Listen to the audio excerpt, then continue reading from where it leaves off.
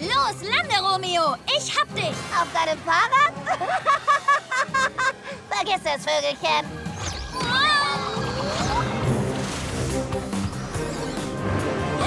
Du bist diejenige, die landen wird.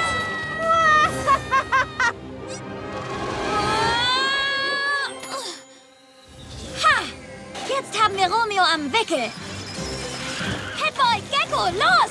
Los? Ich bin allein. Wir brauchen Catboy. Noch ein kleines bisschen. Uah. Ciao, ciao, PJ Masks. Gecko! Wo ist Catboy hin?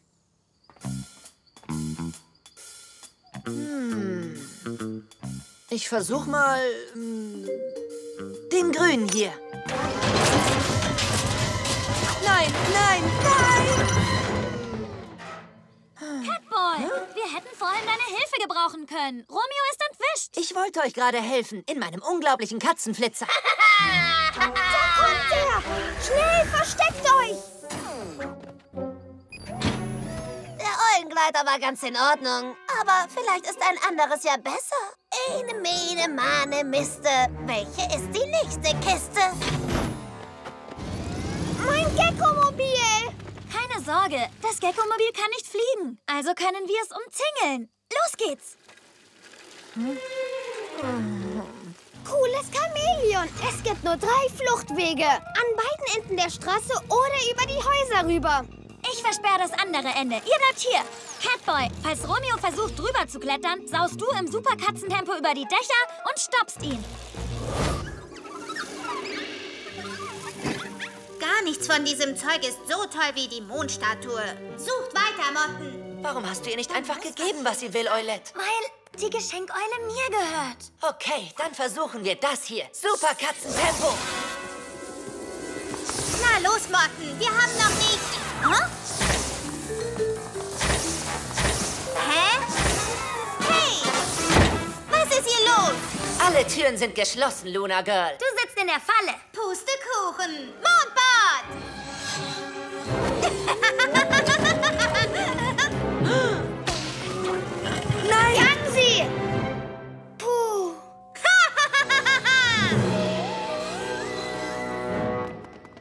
Luna Girl und ihre Motten sind entkommen. Aber sie haben alles zurückgelassen. Nur meine Verschenkeule nicht. Sie hat sie geklaut. Können wir nicht einfach so tun, als hättest du sie ihr geschenkt? Tun wir lieber nicht so.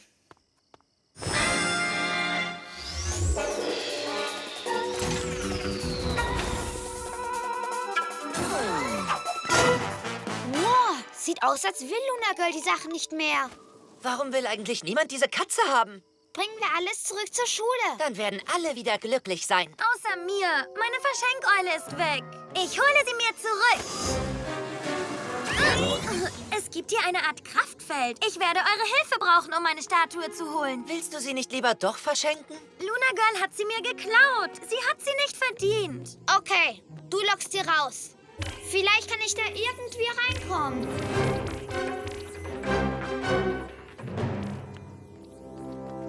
Luna Girl! Du störst mich. Ich bewundere gerade meine wunderschöne Mondstatue. Das ist eine Eulenstatue und du hast sie gestohlen. Nein, ich war mir sicher, du hast sie mir geschenkt. Niemals. Sie gehört mir. Aber sie passt besser zu mir. Ich sollte sie haben. Sag jetzt, sie gehört mir. Sag es!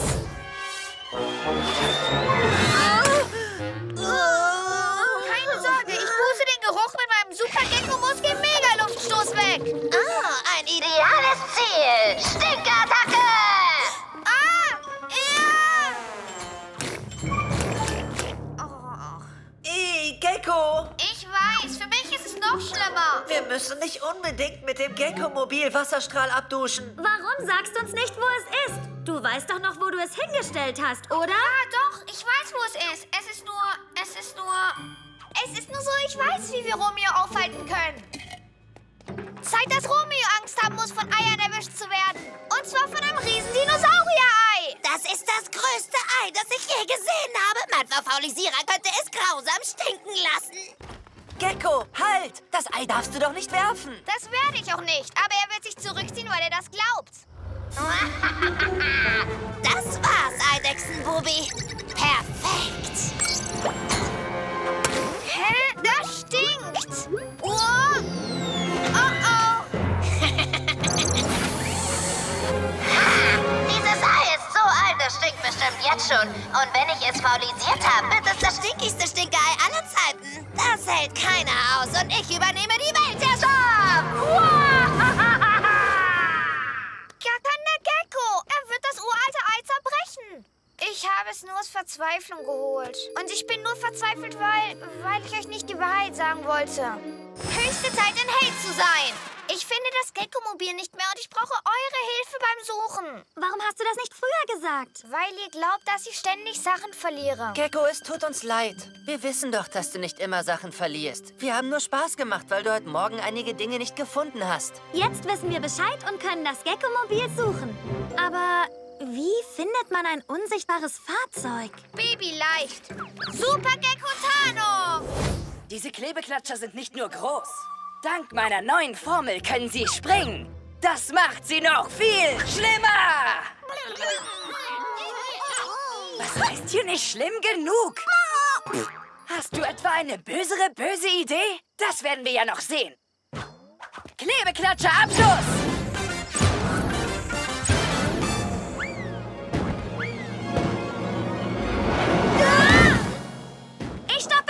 Ersten Ball, während ihr euch um die anderen beiden kümmert.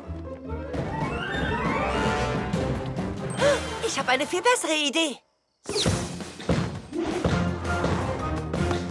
Erinnerst du dich, meine beste Superrettung aller Zeiten? Hier kommt sie, Superkatzenhüpfer!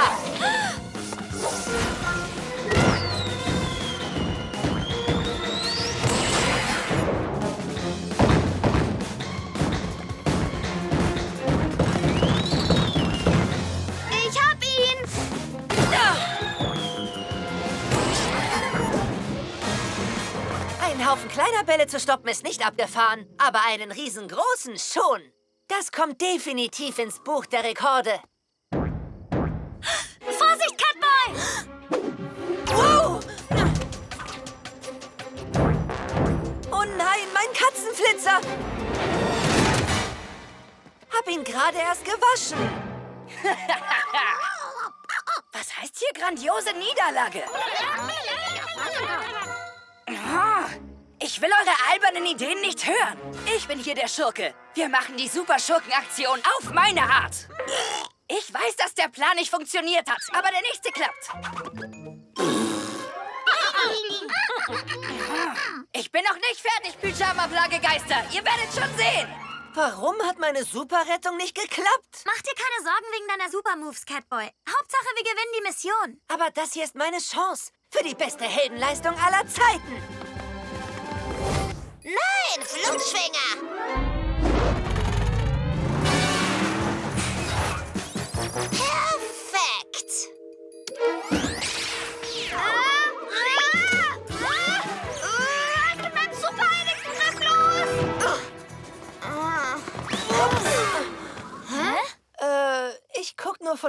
Ob's Gecko gut geht. Also, Leute, was ist hier los? Keine Ahnung. Ich kann mich nicht mal an der Stange festhalten. Natürlich kannst du das nicht! Dank mir hast du jetzt Flutschfinger! Dann macht also der Strahl tollpatschig. Das ist nicht irgendein Strahl, sondern der genialste Tollpatschigstrahl aller Zeiten! Oh nein, er hat Gecko verstrahlt. Ja, weil du nicht zugeben willst, dass er dich auch erwischt hat. Er ist wegen deinem tollpatschigen Fahrstil aus dem Katzenflitzer gestiegen. Was? Ich und verstrahlt? Niemals. Seht euch meine geschmeidigen Katzenbewegungen an, während ich den Strahl ausschalte. Super Katzentempo. Nein, Catboy, warte!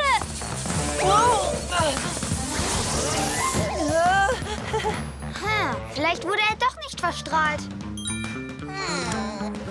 Super Katzen. Wir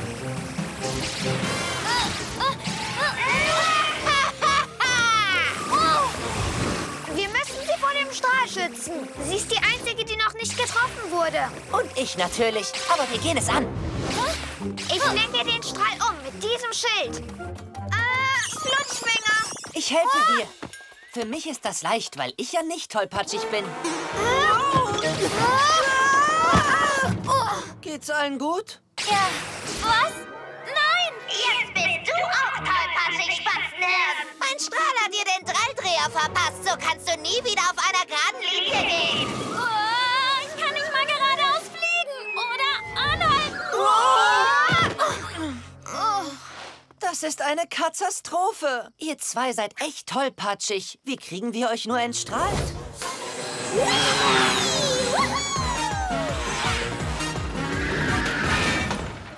Gecko, sei vorsichtig. Das war Luna Girls Schuld. Jetzt hat sie das Gecko-Mobil geschrottet. Ich düse ins Hauptquartier und hol den Katzenflitzer. Der ist schnell genug, um sie einzuholen. Hey, diese Hupe kenne ich doch. Komm mit. Und jetzt wird's spaßig. Das Auto gehört Cameron und nicht dir. Gib es zurück. Zuerst müsst ihr mich fangen.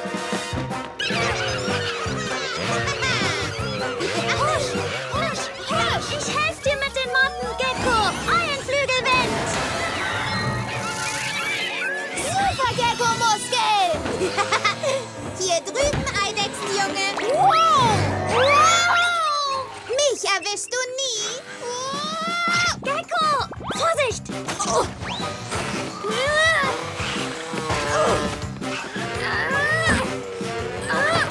Ups. Du machst alles kaputt. Das ist nicht fair. Catboy, all zur Rettung. Kommt mit, Motten. Was ist passiert? Nein, das war keine Absicht. Das war Luna Girls Schuld. Zeit für ein richtiges Rennen. Kommt schon, Pyjama-Plagegeister. Fangt mich, wenn ihr könnt. Gecko, sollte nicht ich fahren? Keine Sorge, ich hab's im Griff.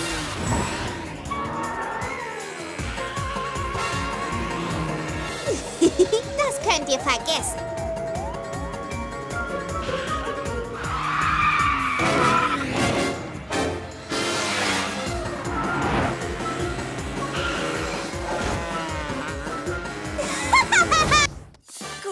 Ninjalinos.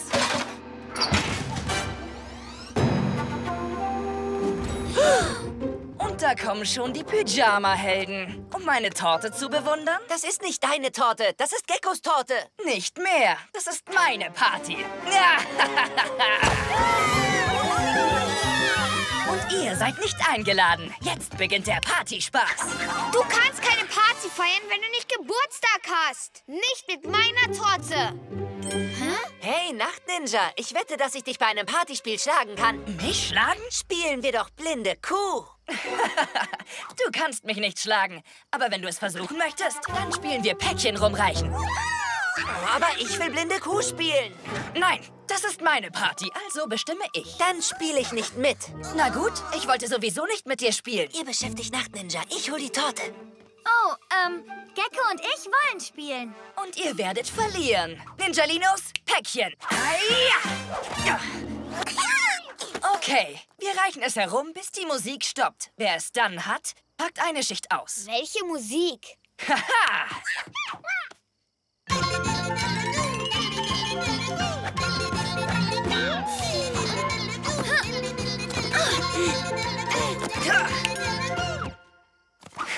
Die Musik ist aus. Ich Glückspilz. Hm. Okay, nächste Runde.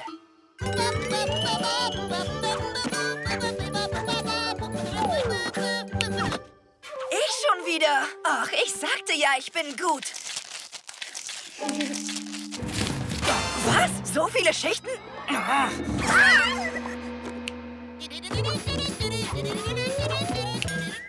Hab ich ein Glück. Oh, endlich. Ach, seht, das bin ich in klein.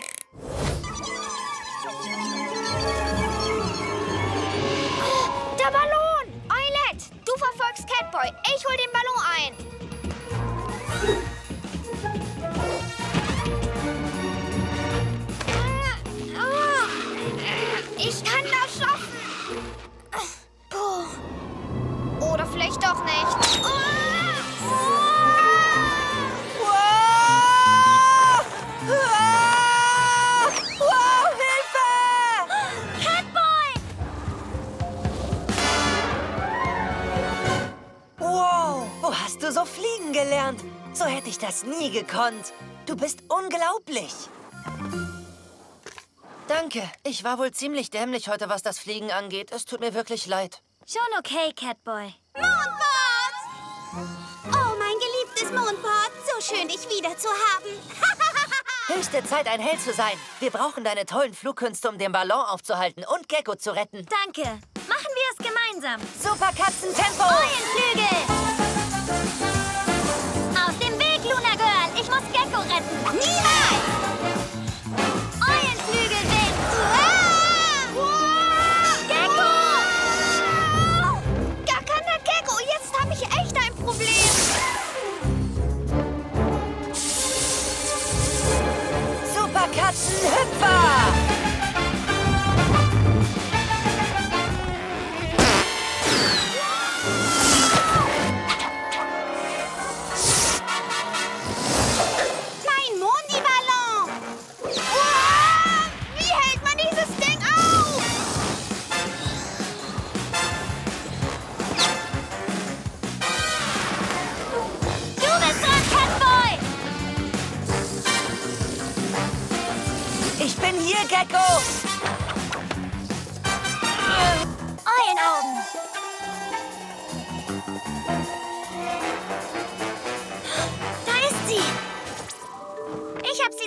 gesehen, also gewonnen. Ich habe sie zuerst gehört. Ich gewinne. Wie gar keine Geckos seid ihr. Ihr habt sie beide gefunden. Einigt euch auf Gleichstand. Kein Gleichstand, wir machen einen Wettlauf. Und zwar, wer zuerst oben auf dem Dach ist, gewinnt. Ähm, sollen wir jetzt echt einen Wettlauf veranstalten? Gecko hat recht. Außerdem ist es sinnlos. Bei meinem Super Katzentempo gewinne ich kinderleicht. Niemals, Catboy. Mit meinen Super-Eulenflügeln bin ich schneller. Ich besiege dich leicht. Was? Das glaube ich nicht. Ihr werdet schon sehen, wie ich nochmal gewinne. Super!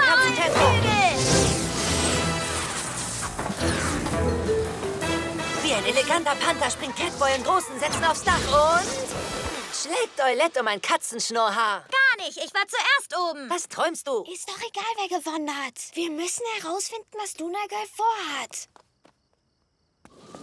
Psst. Runter. Luna Girl hat die Pfeife. Motten in zwei Gruppen. Achtung, fertig? Los, Motten! Formiert euch!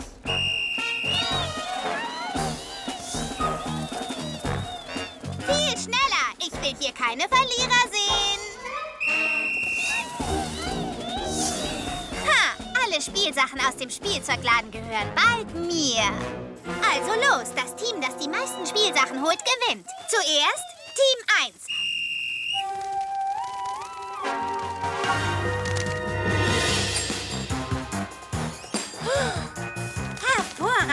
meine flatternden Diebe. Wollt ihr euch das etwa gefallen lassen, Team 2? Schlitternde Schlange. Wir müssen verhindern, dass sie alle Spielsachen stehlen lässt. Wenn wir ihr die Pfeife wegnehmen, können wir die Teams vielleicht verwirren.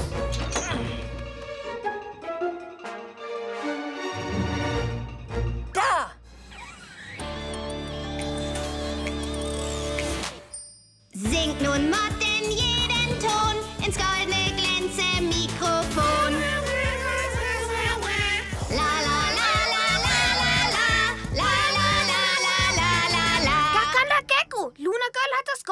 Mikrofon für ihr eigenes Konzert geklaut. Damit ihre Motten mit ihr singen können. Aber ich hole es zurück. Und wenn einer von euch beiden mir dabei besonders hilft, weiß ich vielleicht, wem ich die zweite Karte geben soll. Ich komme mit dir. Dafür ist der beste Freund doch da. Hä? Super Gecko Tarnung.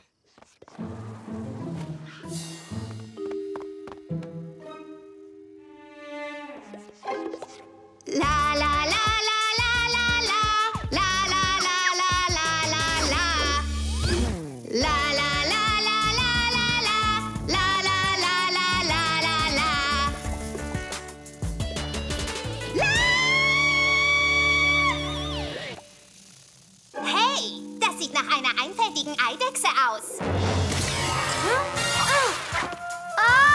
nein! Wow! Oh nein, Gecko! Ha, das ist für dich, Spatzenherr.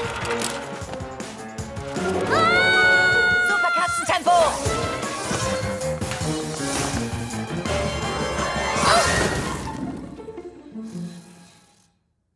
das Mikrofon zurück, du fiese Gaunerin!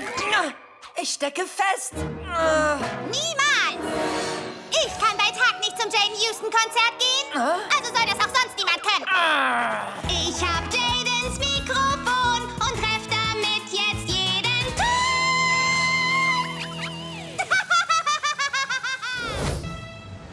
Oh, wen haben wir denn da?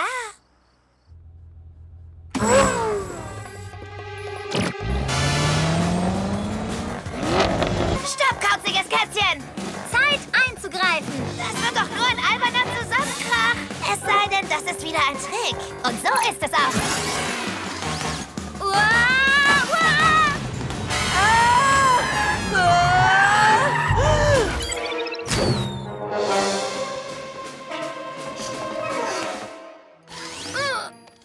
Eulette!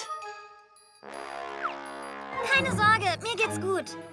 Ah, ich habe es satt, nur eine Pyjama-Heldenstimme zu haben. Zeit, alle drei zu besitzen. Oh nein, ich verliere meine Stimme. Unsere Stimmen klaut er jetzt auch. Hat Romeo jetzt die Stimmen von uns allen dreien? Ja, er ist der Wahnsinn. Nur wir nicht. Ohne unsere Stimmen können wir nie wieder zusammenarbeiten, um ihn zu besiegen. Und alles nur, weil Gecko seine Stimme nicht zurückgeholt hat, als er die Chance dazu hatte. R-O-M-E-O, Romeo! Wie war das, Gecko? Ah, du meinst, es ist höchste Zeit, ein Held zu sein. Aber nur in deinen Träumen, einfältige Eidechse!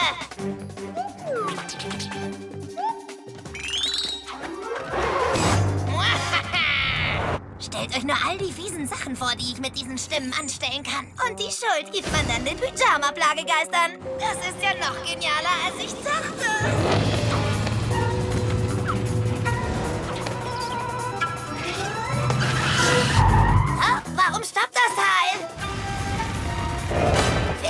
Stimmt irgendwas mit dem Motor nicht.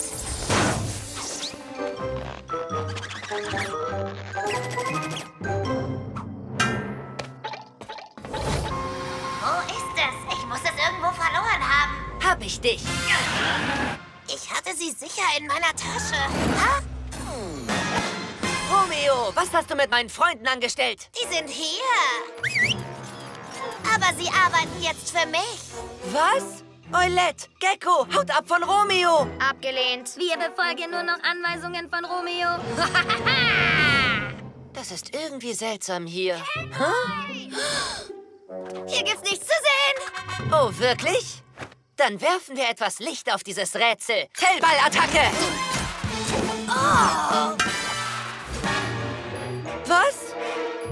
Wow! Greg, Amaya! Sie haben uns geschnappt, als wir draußen gespielt haben. Es war babyleicht ohne ihre Superkräfte. Aber wenn ihr in den Käfigen seid, wer sind dann die da? Halt dich von ihnen fern, Catboy! Moment, der Hauptrechner sagte was von Robotern. Das sind gar nicht Gecko und Eulette. Ah! Nein, aber du hast gedacht, sie sind's. Obwohl es meine unglaublichen Roboterkopien sind. Du wärst jetzt auch eine, wenn ich meine Platine nicht verloren hätte. Ach, eine Platine? Meinst du die? Meine Platine! Sei dir nicht so sicher, Mieze-Kätzchen. Bald sorgen meine Robos dafür, dass du auch in einen Käfig gesperrt wirst. Dann regiere ich die Welt und ihr könnt mich nie mehr aufhalten. Catboy, befrei uns, dann können wir dir helfen. Nicht ohne eure Kräfte, keine Sorge. Ich hole eure Pyjamas. Suchst du die hier, Katzenklo-Bubi? Oh. Ja, eure Pyjamas gehören mir. Und du jetzt auch. Diese Roboter haben die gleichen Kräfte wie Eulette und Gecko? Oh nein, viel bessere. Sieh dir das an. Wow! Extra Kräfte? Das ist unfair. Ich hab dich gewarnt. Es hat Jahre gedauert, um den Computer für die Superkräfte zu bauen. Aber jetzt sind meine Roboter unaufhaltbar und ich auch. Die Pyjama-Helden. Was für eine Überraschung. Ihr wollt zusehen, wie ich die Weltherrschaft übernehme?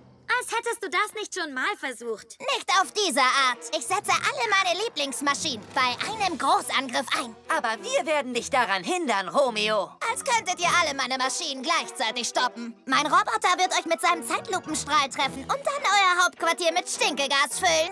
Und während euch das ablenkt, vereist mein Laborschlitten eure Fahrzeuge. Keine peinlichen Pyjama-Helden mehr, für immer. Niemals, Romeo.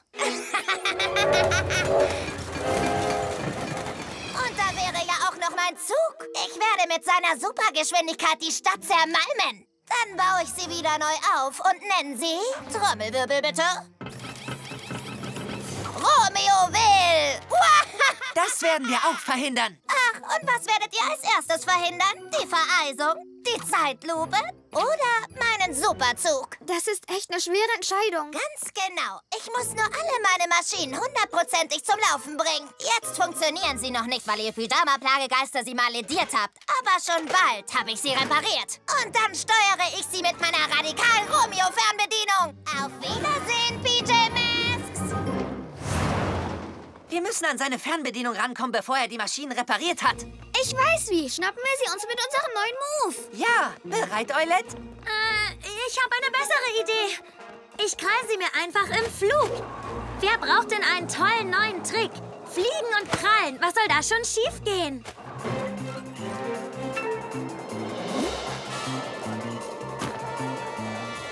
Aha! Danke, Meister. Ich verstinke so gern. Genug verstunken. Ich weiß, dass du das magst. Wie wär's mit etwas Zeitlupe, Spatzenhirn? Dafür wäre ich jetzt soweit. Oh nein, daraus wird nichts. Was? Nein! Oh, was für ein grässlicher Gestank! Der Stinkekäse wird Romeo sicher aus dem Museum vertreiben. Das hoffe ich doch. Ich schaffe es kaum, direkt daneben zu stehen. Ich halt's nicht aus! Ich brauche frische Luft!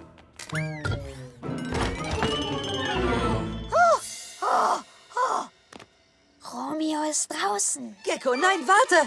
Jetzt habe ich dich, Romeo. Was? Das glaube ich eher nicht. Die Wettervorhersage lautet... Stinkig! Oh, super duper Müffelspray. Gecko, alles in Ordnung? Und jetzt kommt der super-duper Stinker!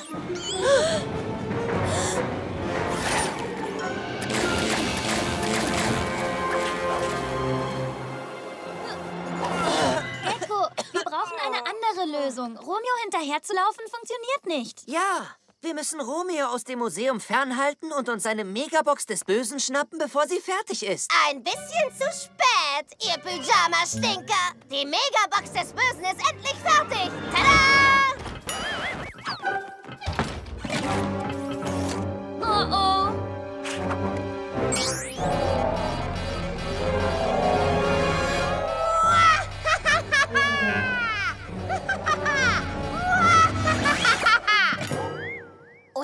Alles für eine kleine Flagge? Das ist ja gar nicht so böse.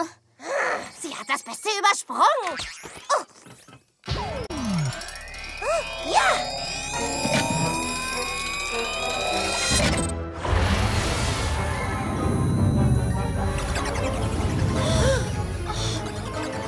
Schaut! Was passiert mit der Stadt? Du meinst wohl Romeopolis?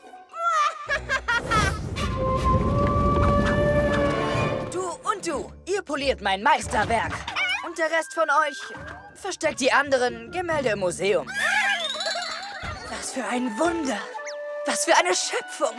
Was für ein wunderbares Exemplar. Ich bin der großartigste Künstler aller Zeiten. Sehe ich richtig oder spinne ich? Das ist eine riesige Nacht-Ninja-Statue. Die sehen wir uns genauer an. Gecko Mobil Tarnung. Sie ist fantastisch. Nein, sie ist furchtbar. Kommt runter! Ich möchte nicht, dass ihr aus Versehen auch mein Meisterwerk zerstört, so wie diese Funkelblitz-Skulptur in der Schule. Dann wurde deine Skulptur nicht absichtlich zerstört. Wie könnt ihr es wagen, mein wunderschönes Kunstwerk zu beschmieren? Wischt es weg, sofort! Und? Habt ihr denn schon alle anderen Kunstwerke im Museum versteckt? Gut, bald werde ich sie los sein. Für immer! Das ist also sein Plan. Er versteckt alle Kunstwerke, damit nur noch seine Statue übrig bleibt. Nicht, wenn ich ihn daran hindere. Nach dem, was er meiner Skulptur angetan hat, ist das hier doch die perfekte Art, es ihm endlich heimzuzahlen. Warte, er hat deine Skulptur nicht absichtlich zerbrochen. Es war ein Versehen.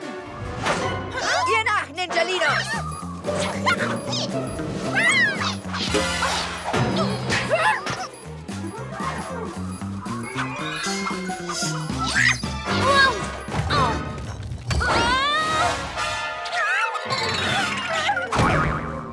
Warum hast du das getan? Das war keine Absicht, aber es geschieht ihm recht. Das hat er auch mit meiner Statue gemacht. Oh nein! Meine Statue! Mein wunderschönes Kunstwerk! Es ist zerstört! Kaputt!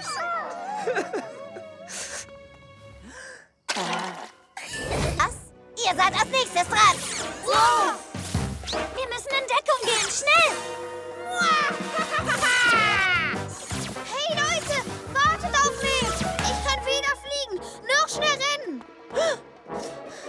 Gecko, Achtung! Superkatzentempo!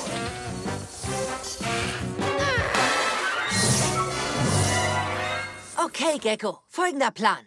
Während Eulette und ich Romeo ablenken, schnappst du dir seine Maschine. Was? Aber ich kann weder springen noch fliegen. Und was, wenn ich es könnte? Vielleicht kann ich das Hauptquartier retten, wenn ich fliegen lerne.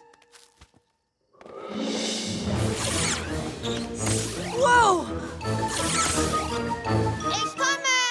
Ich heb ich hoch in die Luft ab. Gecko, was machst du da? Äh, äh, äh, äh, äh. Versuchst wohl zu fliegen, ha? Komm, lass dir von einem Genie helfen. Hä?